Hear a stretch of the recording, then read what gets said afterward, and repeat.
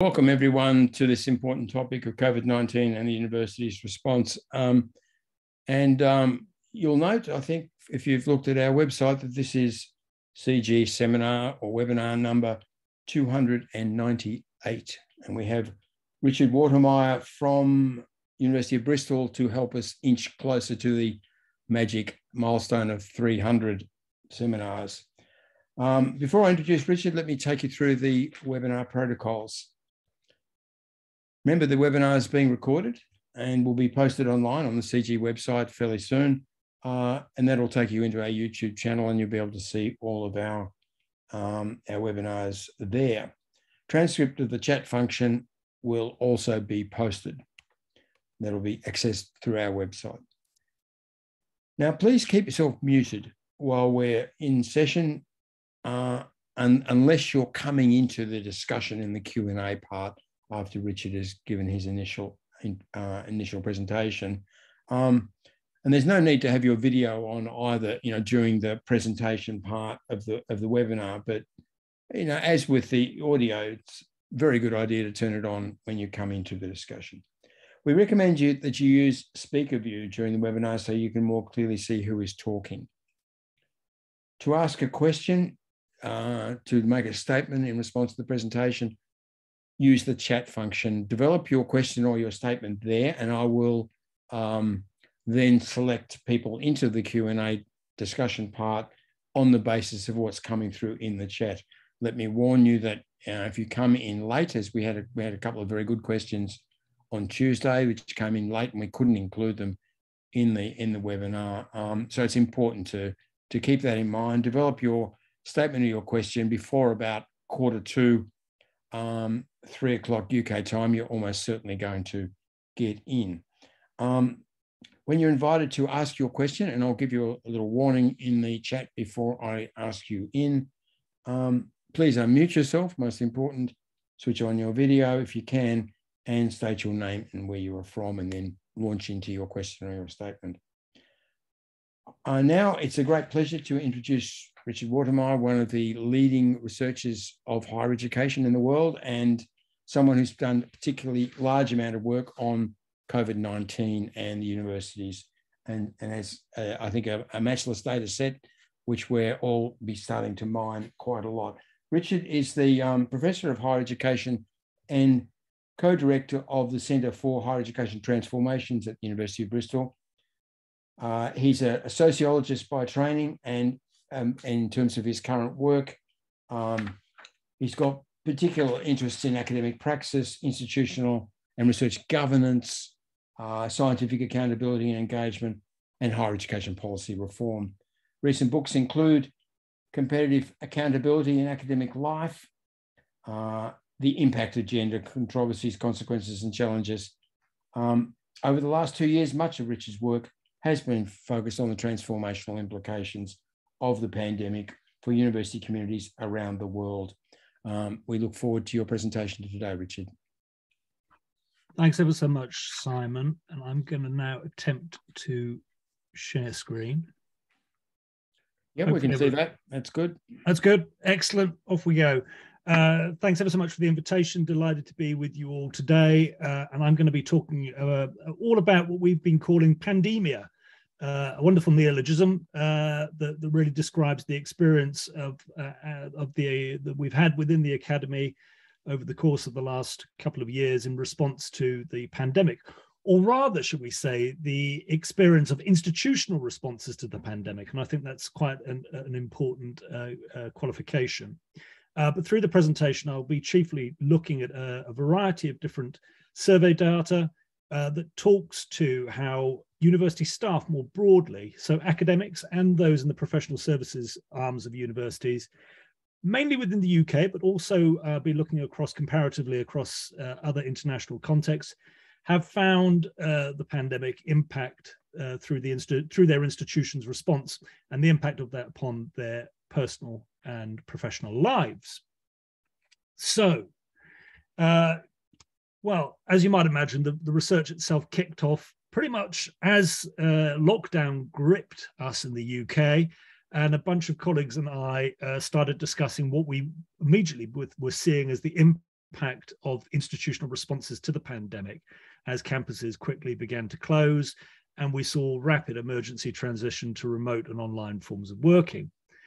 We kicked off initially with a, a survey uh, that was international in focus, but um, was mainly drew upon UK academics' experiences of how they were responding to this rapid transition. That's the first part of the talk. I'm then going to move on to a second survey, which looked specifically at how the institutional response to the pandemic was impacting academics' mental health. Again, international in its focus, but I'll mainly concentrate on the UK data set, which was the, the, the, the most abundant. Uh, and then I'm also going to talk about how professional services staff, let's not forget, as a significant um, segment of the university community, how they themselves were impacted by their institutional responses to the pandemic. So in total, I'm going to be talking across a data set that, that ranges across about 7,000 odd UK higher education workers and significant number in addition uh, that represent a wider international higher education community. And outside of the UK, there are three country points of interest, uh, South Africa, Australia, and Ireland um, as representative of, of, slightly different higher education sectors, as uh, representative of countries that pursued a slightly different response, certainly earlier on in terms of country level handling and governmental handling of the pandemic. Uh, uh, and uh, to identify, and also actually I should say mention in, in the context of infrastructure, particularly as relates to the South African context, where we see something of the differential experience between global north and global south. Uh, and here are just a few of the publications that we've so far produced as a consequence of the study. So I'm going to begin with, with how academic staff and our initial survey, so this is, goes back to right at the beginning of the, of the pandemic, how uh, academics were experiencing and perceived this transition to remote forms of working. And I do this as part of a kind of uh, kind of historical development, an evolution of the experience of the pandemic, pandemic as we've experienced it and also in some way as, as a means to think about a conceptualization of long COVID. Long COVID, not just in its cl- clinically uh, clinical form, but also in the experience of a pandemic which is ongoing and for the, which the impacts of which are even further ongoing. Okay, so let's look at some of the immediate perspectives on transitioning to remote working. So, and again, I'm mainly going to focus here on the UK based data. This went further, and there was about 3,000 academic responses to, to the survey. I'm going to focus mainly on the UK data, uh, of which there was just over a thousand responses. Uh, as you might anticipate, given the, the differential size across the, um, the uh, nations of the UK, in terms of the sector size, the majority of respondents came from England. A majority uh, of female respondents uh, and uh, the employment status I think is something that's quite interesting, particularly as so much of what was talked about by respondents uh, was on, on the, in the terms of precarity and uh, uh, increased casualization and, and, risk to academic careers and interesting to see there that we had mostly full-time uh, people in full-time contracts, but also open-ended contracts. So these were a majority of the people on, on relatively secure forms of academic employment. So I think that's worth stating right from the outset. Uh, now, very, I'm going to quickly whiz through some of these because these are, I think, these are more contextual in the context that we're now two years on. But what we initially saw was uh, just about a teeny weeny majority of our UK based respondents saying that they felt underprepared in terms of their delivery of online learning, teaching, and assessment, which I'm, I'm going to abbreviate to LTA. Um, there was a general sense of confidence in LTA uh, online. Institutional support, majority of respondents there, 72%, felt that they were their institutions had been relatively supportive in the initial transition to online LTA. And similarly, a majority of people felt that they had access to appropriate technologies that would support their online LTA. Okay. Um, when we look at this across a disciplinary context, it's kind of interesting. We see that um, the highest proportion of preparedness, confidence, support, and access, according to discipline, well, surprise, surprise, there's computer science, which you might anticipate, but also the social sciences and educational uh, researchers. So these are these are uh, uh, as as um, differentiated by our respondents by their disciplinary affiliation. So we we see variation there in terms of the level of preparedness, confidence, support, and access uh, at disciplinary levels. with those social sciences uh, uh, first among the top. Themes from the open text responses, and some of this was published in a piece that we had uh, that came out in Nature.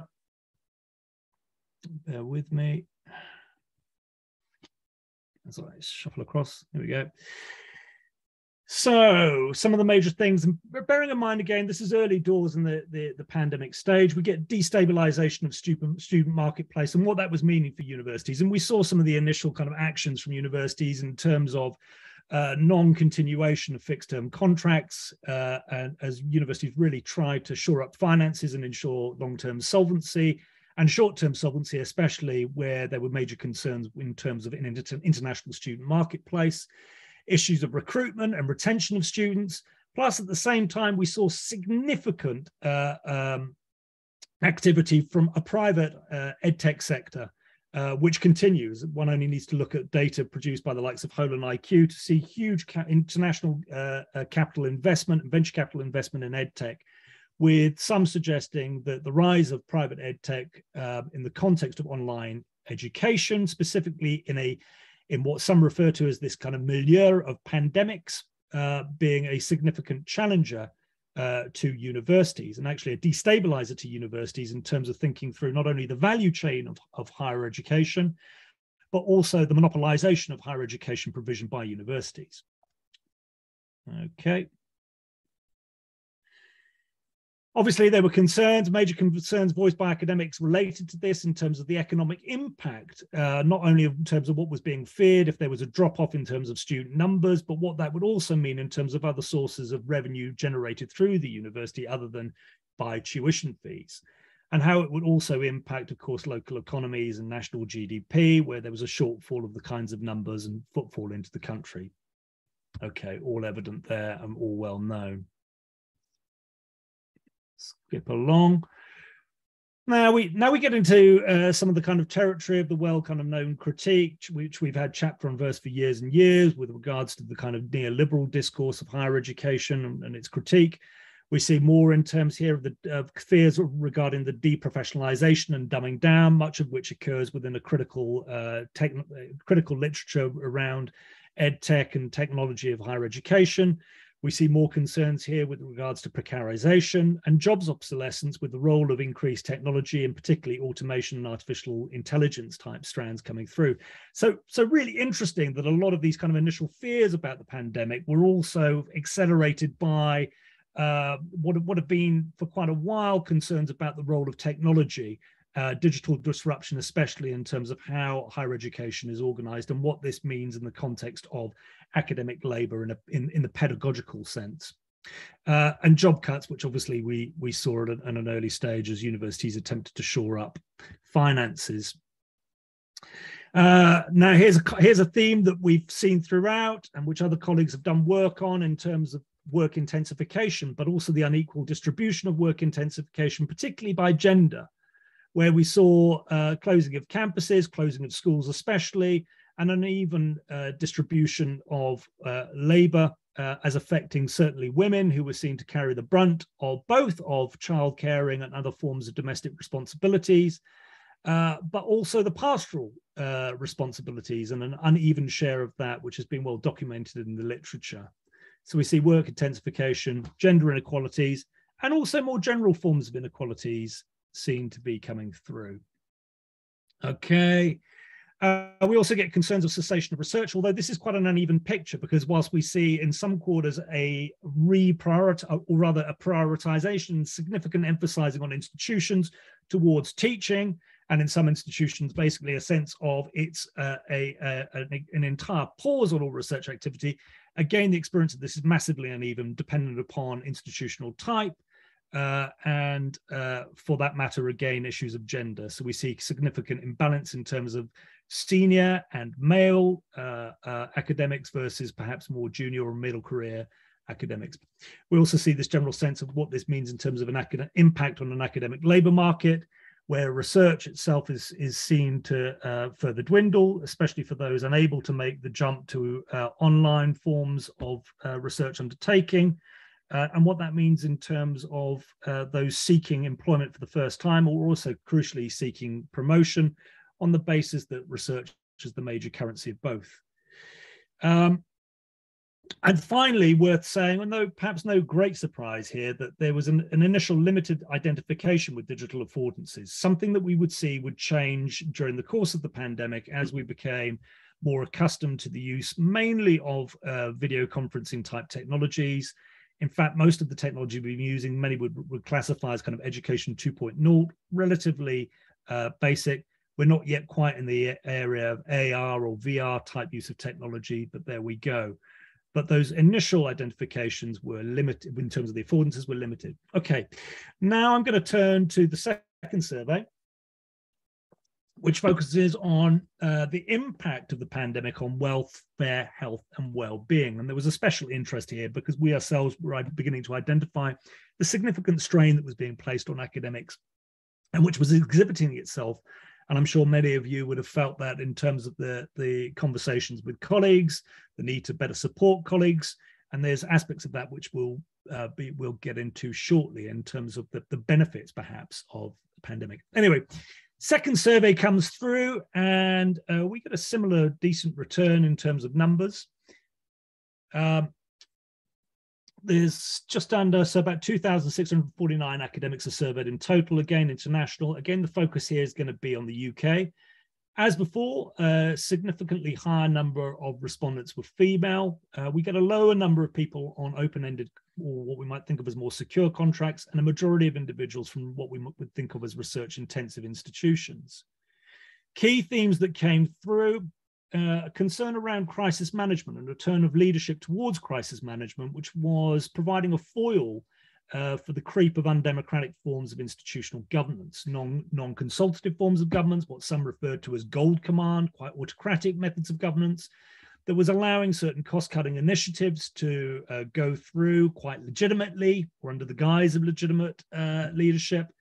Um, and all of this is a part of a kind of a discourse of crisis management or disaster management, if you like.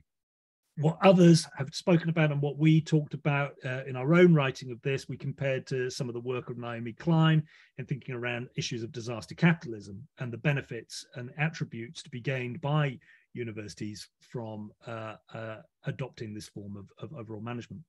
Again, we see writ large this concern around deprioritization of research by many institutions as they seek to focus on major income generation activities. Um, we see a continuation of a theme in terms of impaired trust in university leadership, partly because of this increasing centralization of power within universities, the proliferation of non-consultative forms of governance in universities. We see increasing concerns with regards to labor casualization, job insecurities, uh, we also see as a consequence of the increasing precarity a rise attributed to many of our respondents in terms of accounts of work exploitation um, and individuals feeling that they have to go not only beyond the bar of what they would normally do, but be uh, susceptible, willingly susceptible uh, to forms of work exploitation just on the basis of uh, job retention and a further continuation of concerns around work-based inequalities. When we look at some of the kind of statistical data from the data set, we see uh, a concern that they, and, and, bearing in mind again that framing of this is about the institutional response to pandemic to, to the pandemic rather than a general response to pandemic, that we see this kind of corporate level response or, or the response of university stylized as a corporate response contributing to work related stress we see significant numbers of respondents talking around digital fatigue, that sense of always being on and online and on call online. Um, major concerns around being demotivation, again attributed to, to burnout. Major concern with regards to the damage to which the pandemic and institutional responses to the pandemic were causing into the future career pathways of early career academics. Um, not least again in consideration of uh, drawbacks to and uh, uh, um, interruptions to doctoral level study, to postdoctoral study, and the general cessation in many quarters of, of research. Um, and changes, uh, long-term changes. So what many at this stage uh, were, were seeing as the long-term changes to academic lives as a consequence of institutional responses to COVID and those long-term impacts having themselves major impact upon academics' own health and well-being.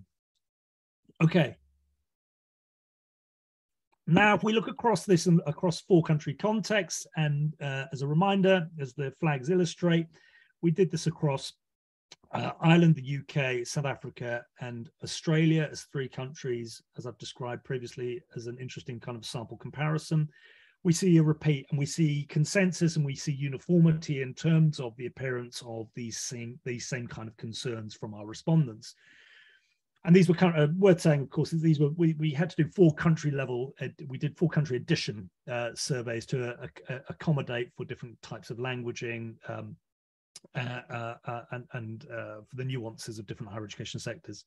Anyway, we see continuing concerns around work intensification as a consequence of the pandemic, job precarity and scarcity, erosion of trust in leadership, deterioration of mental health, and exacerbation of existing inequalities.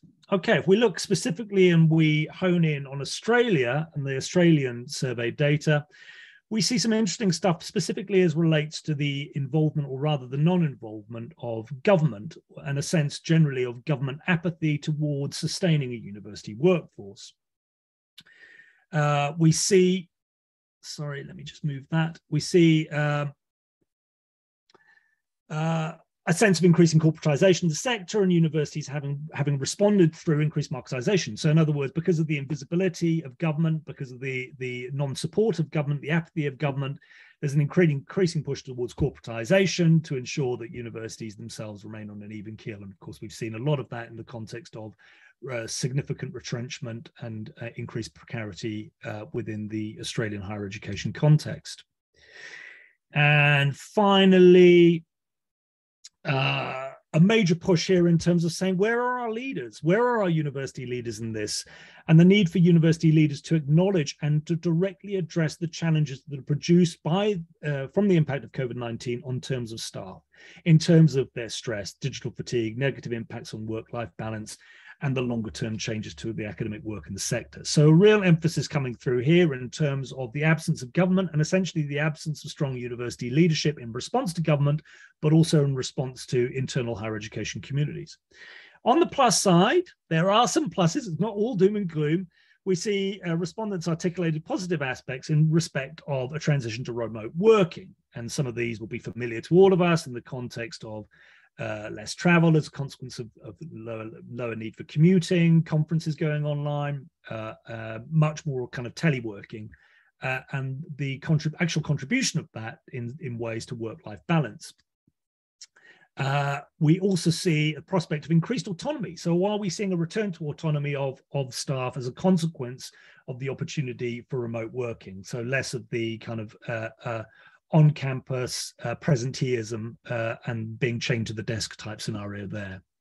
Okay, when we look to Ireland, we see a, a sense that okay, well, yeah, we we've got COVID. The pandemic is seriously disrupting things, but but it's not the core problem. In fact, what this has done in, in terms of what the impact of COVID actually has been for Irish academics, it's kind of further illuminating and casting more the spotlight in terms of what's going wrong within the Irish higher education setup. So we see uh, a sense that the pandemic is just a part of a crisis trajectory that has been going on since the uh, global economic uh, uh crash of 2008 or 2000 since post 2009 we get concerns of how the pandemic is just another uh, manifestation of the issues uh, related to neoliberal logics intensified managerialism and of course intensified managerialism also being a part of institutional responses to the pandemic we get same accounts here in terms of related stress, digital fatigue, work-life balances issues, and, and the like. We also get more of concerns from Irish academics in terms of the contraction of job and career opportunities in academia, uh, and uh, a sense again of this, this, this sense of neglect that we've neglected staff, staff welfare, health well-being, um, and and that the pandemic has really brought the the, the neglect of of a kind of human centric model of leadership. An ethics of care has been brought and the absence of an ethics of care has been brought into even starker relief. And what we really need here is the prioritization of a human centric model uh, of productivity and academic labor that stresses perhaps less an emphasis on continuous you know Taylorist production line of positional uh, outputs and, and positional gains and instead takes a much more human centric, empathetic, compassionate look at how we do what we do. Um, again, we do see, however, some positives here in terms in the Irish context where a pivot to online delivery uh, was seen as to provide a platform for greater experimentation with digital forms of pedagogy and uh, the beginnings here of an identification with what some of this could do in terms of both ameliorating uh, uh pedagogy, but more generally uh, academic practice. Okay, let's turn to South Africa. And before we turn to South Africa and full and some of the data, it's just worth providing a little bit of context here um, in terms of thinking about the higher education sector in South Africa and South Africa more generally as a country. So it's more, it's generally acknowledged as the most unequal country on earth. There we go. Uh, over 80% of South Africa's population is in either severe poverty or struggling with food poverty. There are connectivity and access, and access to technology for teaching and learning is massively challenging. Although interestingly, there's data that supports the use of 36 million people in the country having, having use of, not necessarily ownership, but use of mobile phones.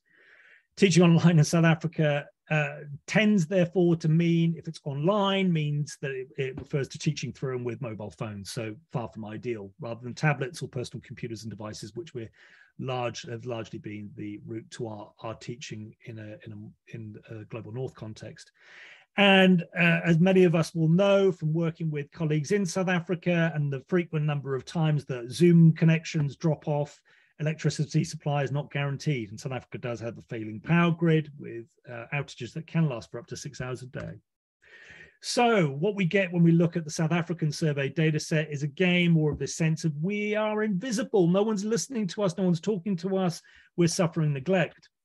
We get a sense of, as in the other country context, increased workplace inequality. Again, we get this further intensification of managerialism.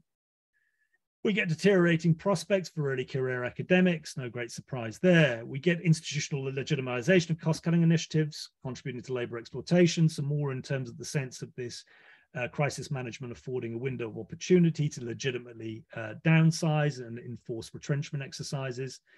Um, and then again, we get some really interesting stuff going on, of course, in, in the context of South Africa's historical, uh, uh, uh the, the, historical context of South Africa and South African higher education uh, and the sense that there is a, a, tension here between the use of technology as some kind of panacea, uh, as, as some kind of means of, of continuity, uh, and actually a sense that it could be used to, to kind of reinforce many of the issues around colonialism, of apartheid, uh, and a failure to connect the opportunities through di through uh, digital technology to indigenous knowledge. So some real interesting issues there in terms of epistemic injustice. However, okay and this is where we get more of the same kind of thing of this this sense of increased community and i think we we all experienced this during the pandemic more positive caring relationships were reported between colleagues. Uh, and this leads us to this concept that many of you probably will be familiar with of ubuntu uh, which came through strongly from the South African data and was actually directly related to, which was this sense of bond, what I would think of as bonhomie, you know, uh, uh, the the camaraderie, the bonhomie that emerges during a time of crisis, the pulling together. But this bonhomie, this Ubuntu, a sense of collective well-being, actually also being a prompt, scaffolding individual and collective resilience and well-being. Uh, so we see really emerging through this in the South African context and Ubuntu being a, a cornerstone of kind of uh, uh, the kind of South African philosophy in terms of thinking about well-being uh, as collective well-being uh, as opposed to over individual well-being, um, that we see this uh, uh, emphasizing of an ethics of care. Okay, and I'm just keeping an eye. Uh, I don't know how I'm doing on time. I don't have my watch here, so I'm just going to go as quickly as I can through this because I think this is another important aspect of it. So if we've got some of these kind of international dimensions, we've got this whole community dimension as well. So it's not just about the academics. I must say we didn't we don't we didn't do anything with the students, but we did target and look at the experiences of professional services staff within universities. Um, so this again is purely UK based data uh, and we surveyed close to 5,000 professional service staff working across UK universities. Again, we see a majority of female participants, in this case it was about 71%. Again, most of these were full time. The majority again were working in pre-1992, so older uh, universities. Uh, we see, if we look across the kind of branches of professional services, of course, which there are many within a UK university context, we see the majority of our respondents uh, being more kind of um, facing, uh, student and staff facing directly. So we've got learning and teaching and academic support, PSS, and we've got student support, PSS, as two of the most represented uh, branches within the survey data. Okay, so when we consider the impact on workability and work productivity, so this was a major part of the survey, and I should say that this was uh, this survey was launched. Uh, I'm trying to remember now last year, so this is a step on. So we've got a, the third step on in terms of this this narrative of the experiences of of the pandemic. So it's a, at a point where most people are now quite acclimatized and accustomed, become cultured to working remotely from using a variety of online platforms to undertake their work. So it's important to get that uh, uh, time dimension and contextualization to it.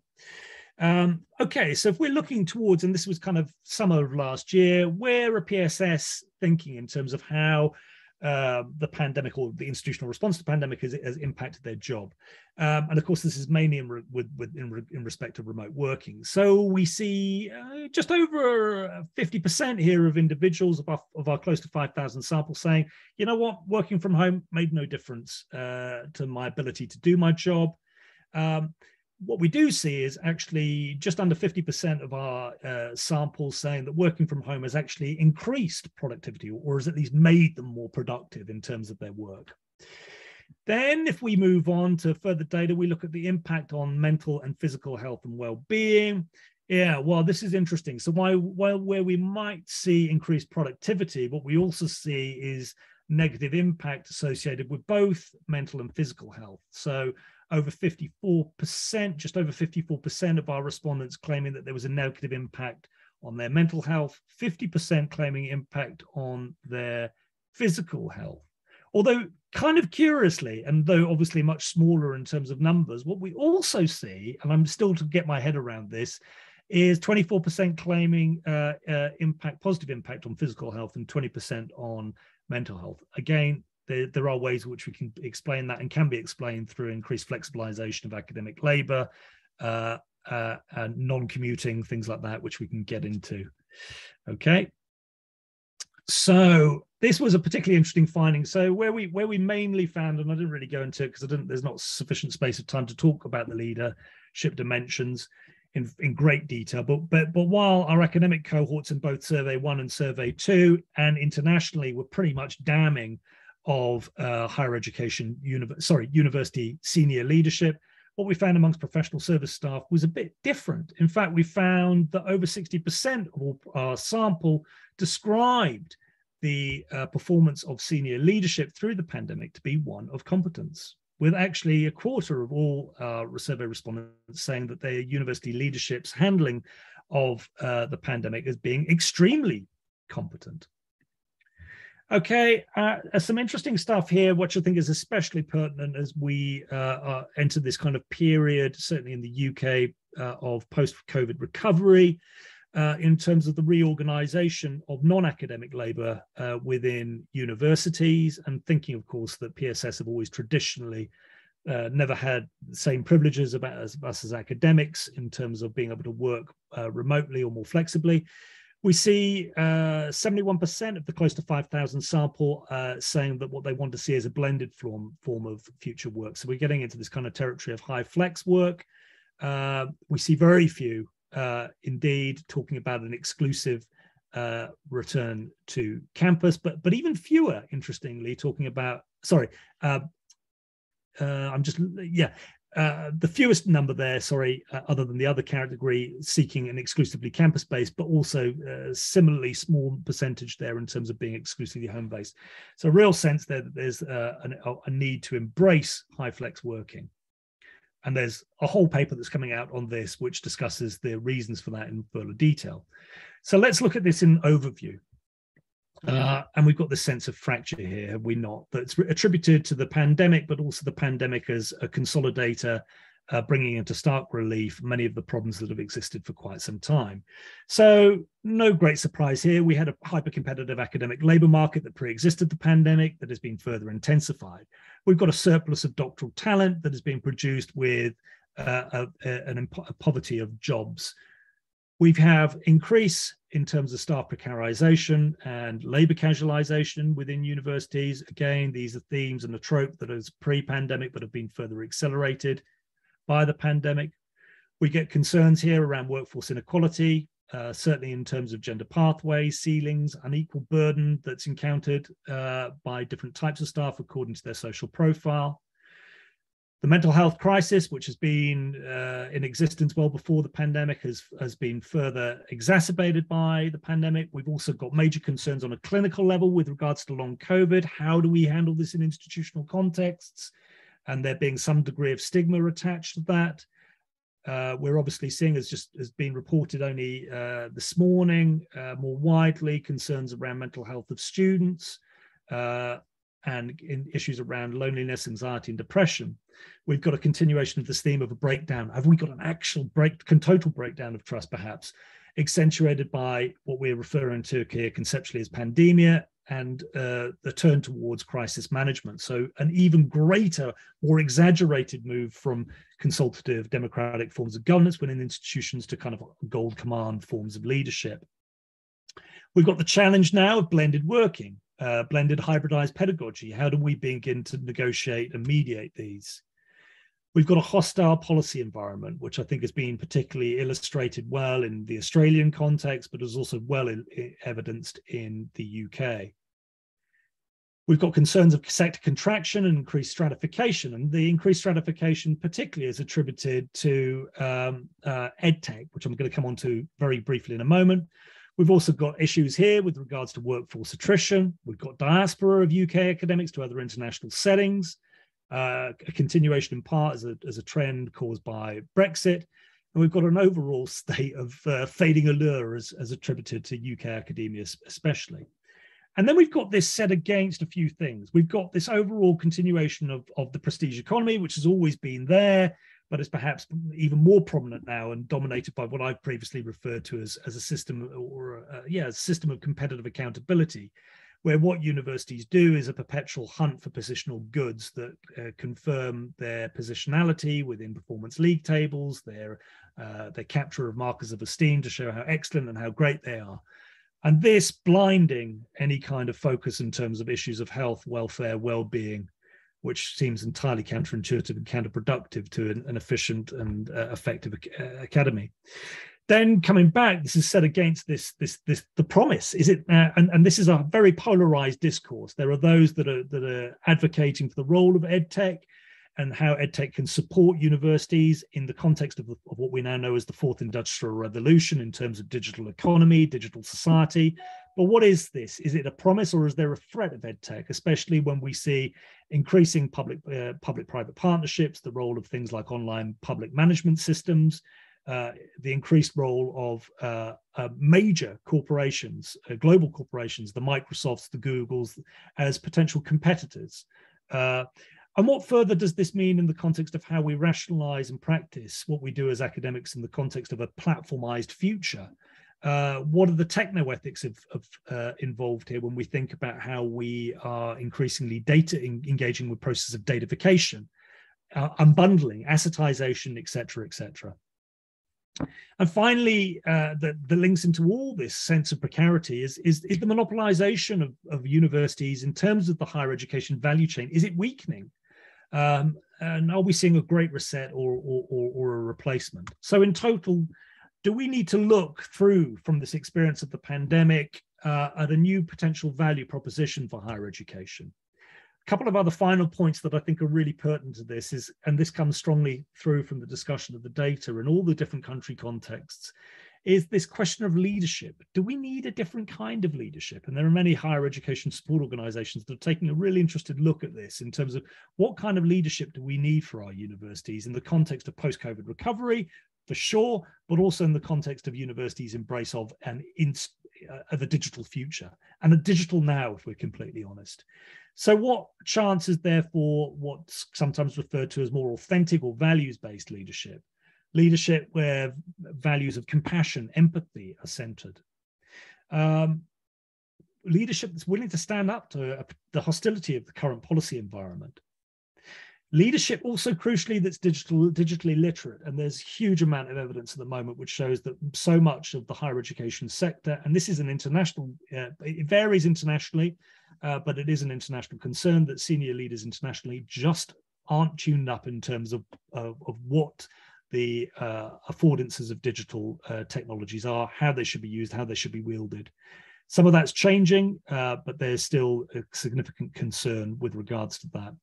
Uh, and to what extent are, we, are they? Are there? Do we have leaders that are willing to embrace, crucially, the affordances of digitalization? Uh, not in, not so much in a gung ho way, but in a techno ethical, in, in in a responsible way. Uh, and finally, you know, if we've had so much of a move towards through this kind of period of crisis management, how can we reclaim? Uh, and it's not just the, the period of crisis management, but but how, given the how much uh, the problem of leadership that we've got that's been brought into sharp relief, how much can we get more towards consultative, shared, even collective leadership?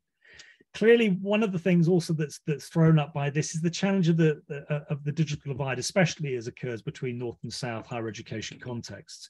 And the, the challenge of in of places like south africa is particularly acute in terms of how we actually utilize technology in terms of the operationalizability of higher education.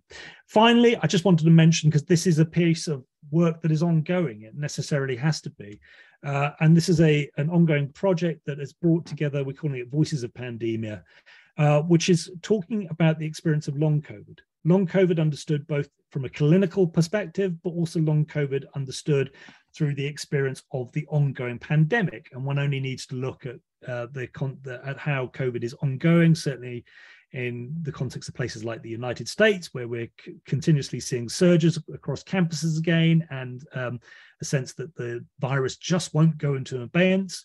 So, what are these voices and where are they from? So, this project draws together um, from nine different country contexts across the global north, the global south, uh, uh, from Europe, North America, Australasia, to begin to really understand bottom up accounts of how uh, academics are experiencing this. Again, taking a whole community approach uh, to understanding this, so uh, understanding perspectives of pandemia from uh, higher education leaders, from early career researchers, from doctoral researchers, from academics of color, from uh, female and male academics, from a, from the whole slew, if you like, of different kind of uh, uh, social categorize uh, characteristics and variables, to begin to understand both internationally, but also taking a whole community approach to understanding what pandemia is and its ongoing experience and its impacts.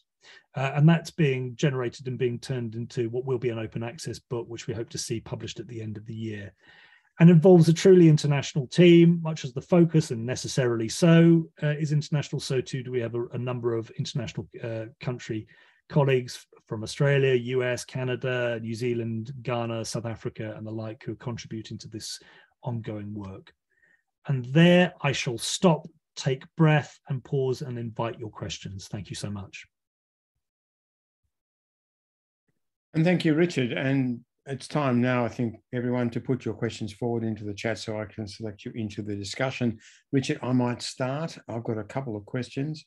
Um, very impressive uh, international team there, by the way. That's great to see uh, that level of cooperation. And I think this is one of the things which has been such a strong feature of higher education in the last three decades, the growth of these big international cooperative research efforts using the internet as a medium of continuous discussion.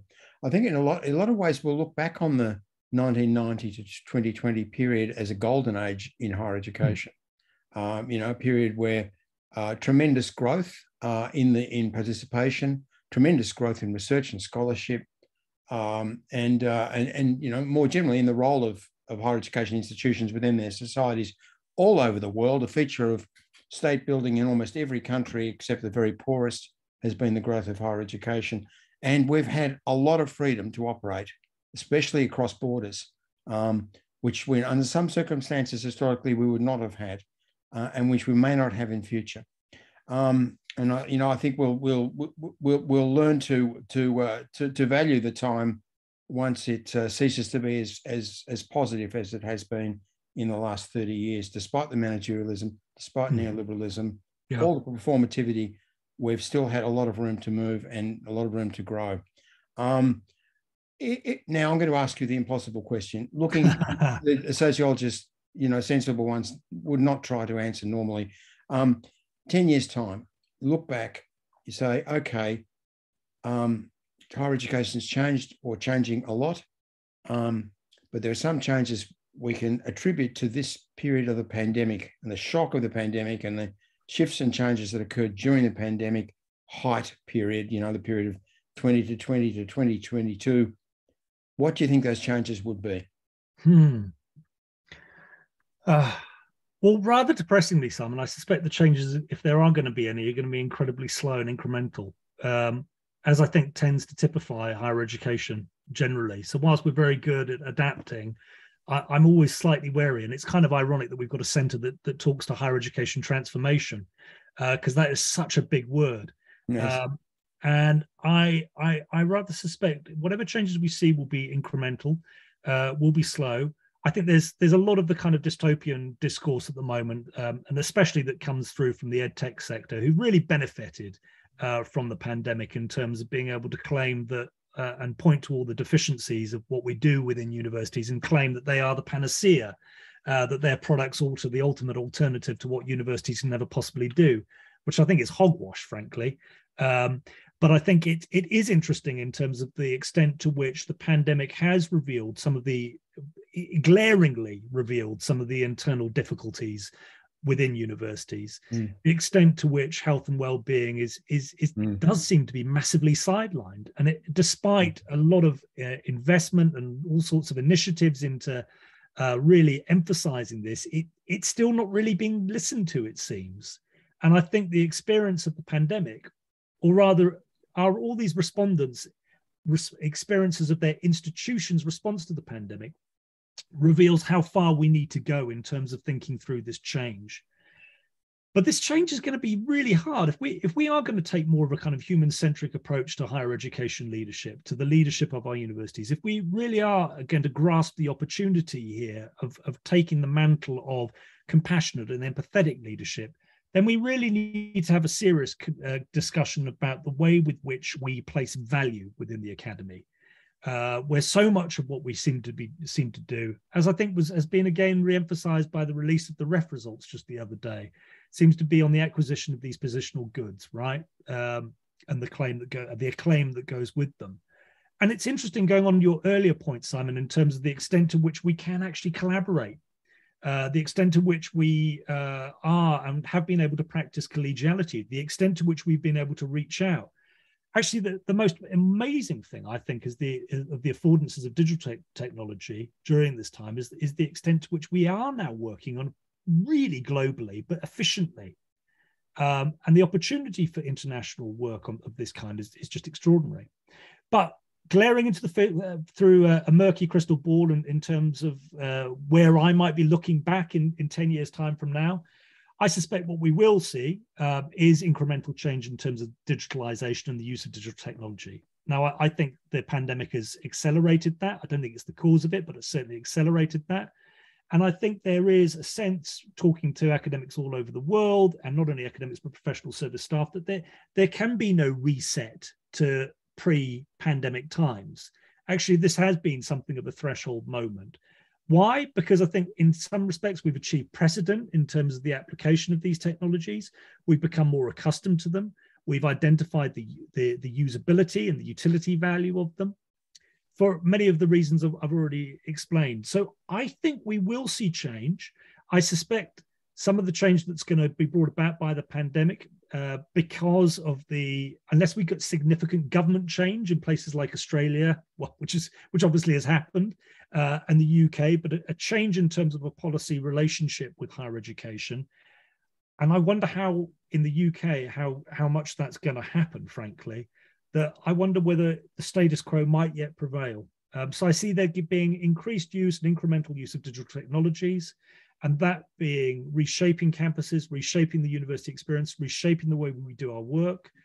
Um, I think the fact that here we are today on an online seminar, it demonstrates the, the reach and the, the ability to commune uh, in ways that we, we never previously would have thought. So there's definite game changers. But, I, but sadly, I think uh, the provocations that much of, of, what's produced by the pandemic will not change until we get a real rethink about what the value and purpose of higher education is, and certainly a rethink in terms of its leadership. Yeah, I, I agree with all of that. But the um, the thing that's really struck me about the um, potential of digital technology to, you know, to substitute for the the old paradigm of face to face classes, is that I mean, the the possibility certainly been posed in a kind of direct way, in experiential way through the pandemic period, but also the pushback against that notion and the reassertion of the value of the face-to-face experience and the strong desire for sociability amongst students, between students and between students and academic staff, very apparent. A really a strong, I think, a really strong um, vindication and uh, statement about the traditional model. Um, so I suspect what we have here is a situation where it will bifurcate so that in situations where institution-based higher education is well established, and we're talking about you know, North America, Western Europe, East Asia, uh, and other parts of the world. I mean, Latin America is certainly the case in much of the, the continent. Uh, in those situations, the traditional model of institution based face to face learning will not be fundamentally overturned by the pandemic period. In fact, it may be stronger, and may have a, a longer lease of life because it's those who sought to reform higher education in this way to open it up as a business sector through online learning, replacing institutions and all that valuable real estate, inner city real estate being sold off and all yeah. of that stuff. Yeah. Um, yeah. You know that that that sort of capitalization won't happen because the buyers will resist. Uh, but in those countries where institution-based face-to-face teaching and learning is not so well established, is not as strong, or is of uh, or the mass at the mass level is of low quality.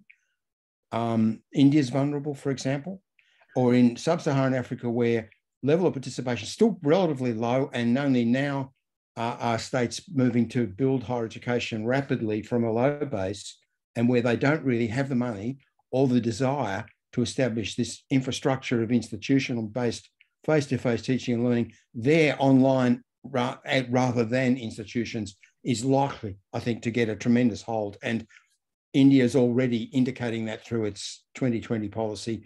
It wants to massify Indian higher education through online learning, despite the, the lack of infrastructure to support that in the countryside. So I think we might see a bifurcation with, with possibly the pandemic period being an accelerator of you know, the online rather than the face-to-face institutions in some parts of the world.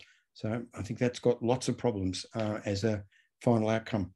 I think um, if I can just, if I can add to add to that, Simon, I think what's mm. really interesting as well in terms of seeing the uh, the application of, of, of edtech, especially, it, it, does strike me, you know, there's resilience there in terms of undergraduate education and face to face and and all the, all the rest of it. And I see that.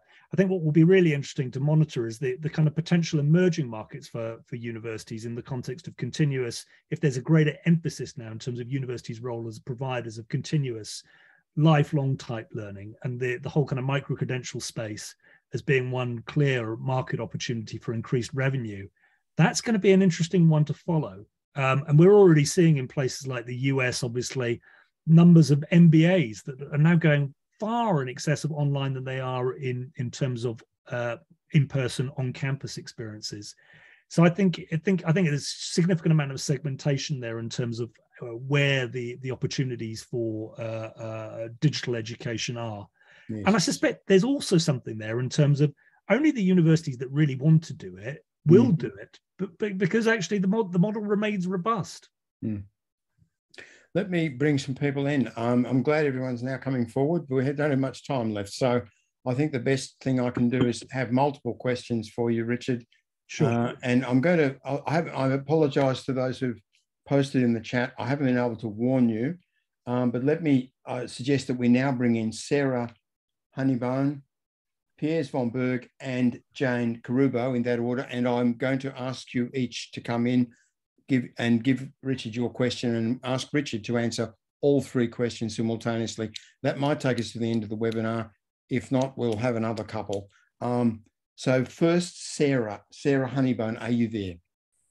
I am. Can you hear me? Yes, we can. Please go ahead. Excellent. Um, first of all, thank you very much, Richard. That's really, really valuable work and a great presentation. Um, I have two questions for you. Why do you think there was a majority of female respondents, um, especially among the academics? Obviously, professional services majority female anyway. Yeah. But do you yeah. think perhaps because females were more affected, they were more likely, they had more to say? Basically, um, any insights there would be great.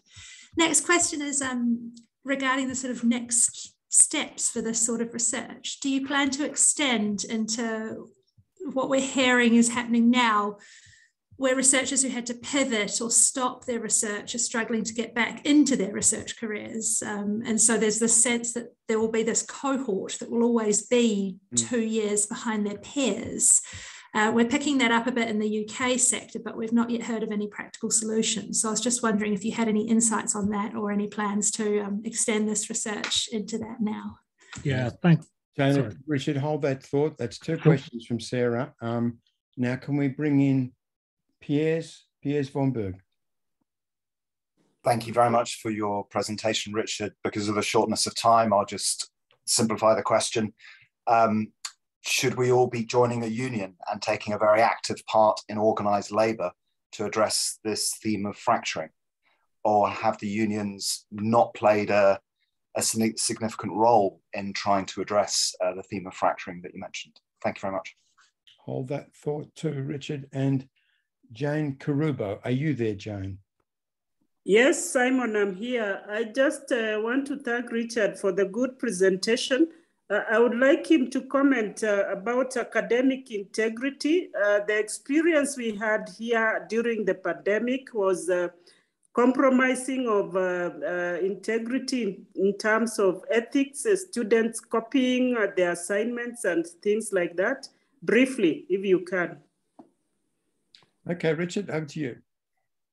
Thanks, Simon. So, Sarah, to you first of all yeah, it, it was it's so interesting. Uh, the majority of female respondents, certainly amongst the the academics, as you rightly point out, of course, you'd you'd accept you'd expect um, that kind of sample bias in the context of surveying professional service staff because they're, they're, just because of the the, the gender uh, uh, demographics there. But yes, why I don't know. I, I don't know that I've got a clear response. So it's it's at best it's a punt. Um, and I think you you you might have already hit the nail on the head. Is is this in part a self-selecting um, sample? I think what we found certainly in many of the open text questions and comments that people left us was was actually a, a sense of gratitude. Um, and I, I, should tell you that we were slightly we were very wary initially to survey because we felt god is this appropriate is this ethically right to actually be surveying people at a time of such severe disruption um, and was something we really wrestled with. But actually, we we we we got drew great comfort from the number of people, both academic survey respondents, but also uh, especially amongst professional service staff, who said, "Thank you, you provided us a platform from which we could really talk about our experiences, and this has been massively therapeutic, and it feels like there's a community of people out there that are listening." Um, so sorry, not a conclusive answer there, but but best best to kind of guess as to why. Next steps, absolutely. Um, in fact, the, the we just finished off um, the last uh, piece of work where we've looked at the kind of longitude um, and we uh, at the professional service staff and said, look, there is real need here for kind of longitudinal uh, analysis of this that now begins to capture and understand. We're not post-pandemic, and of course, there's there's variations to which people may claim post-pandemic in different international contexts. But but if we are to be somewhere towards a post-pandemic, or if we're in that mode of post-pandemic recovery, what is this missing generation that people are talking about? What is the impact of this? How can we begin to think through all the various impacts of the things that I've been addressing through this research in terms of increased precarization, lost job opportunities, et cetera, et cetera. So there's great need for which now to track and to map this. Also, crucially, I, I think, and what we're trying to do with the with the Voices of Pandemia book is to have something which is much more explicitly qualitative. So we do deep dives into these experiences. Piers, should we be joining a union? And what's the role of unions? I think in the UK, um, my personal take at the moment is that it's it's got a, it's got awkward. We we've um, you know we've we've had historic uh, industrial action in UK universities over the course of, of the last few years and, and as preceding the pandemic, and I, I sense a huge amount of fatigue and frustration amongst uh, university staff and not just academics, pro services staff, academics, and of course students in terms of how do we do this? And I think it's a really important question in terms of what is the role of the union in terms of uh, mediating this issue of fracture. Um, uh, and if it's something about membership and collective, uh, forming a collective body, is the union the only place with which we do that?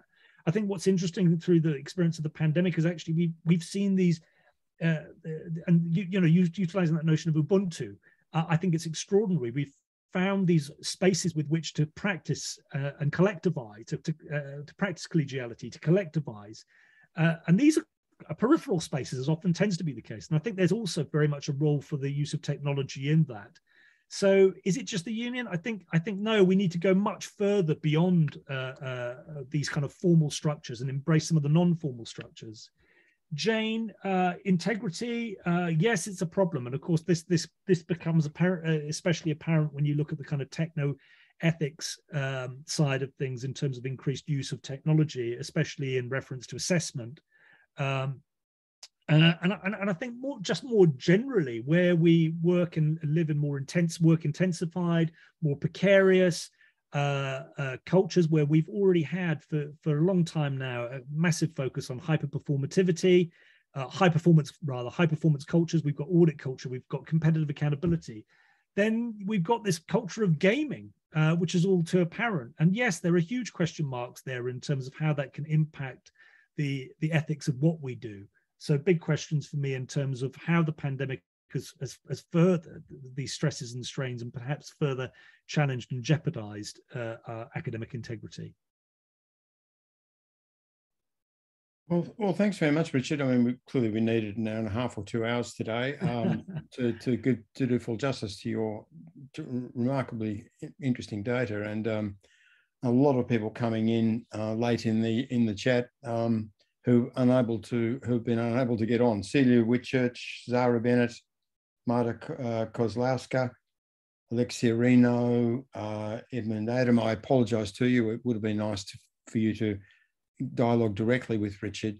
Uh, and maybe there'll be another chance to talk to you about this research again, Richard. I mean, you're certainly most welcome to present again on, on this topic uh, as you as your work develops. We're particularly interested in the comparative experience, you know, of UK and the other countries. I think, um, you know, it's, it's, it's similarities and differences, of course, as you know, across the world make very interesting discussion in relation to the pandemic. Colleagues, um, next webinar is next uh, Tuesday, the 14th of June. Year is rushing to the mid, midpoint. And we have um, British national overseas citizenship holders and UK higher education. This is about Hong Kong and the UK and Hong Kong, China and the UK. And we have a cast of thousands. Michael Nat, uh, Natzler, Kaho Mok, who's already well known to many, uh, Tommy Chan, Corinne Squire, and Sunder Katwala. Five speakers in an hour. So we'll see how that goes. but you have to ask yourself with five speakers, um, you know, on this list, if you're not on this list, where's your career going? You know, you, obviously, uh, uh, you know, it's, this is this is this is a very large group indeed. Um, so look forward to that, and look forward to seeing you again, Richard. And and sincere thanks for to, to such a good webinar today. Bye for now. Simon.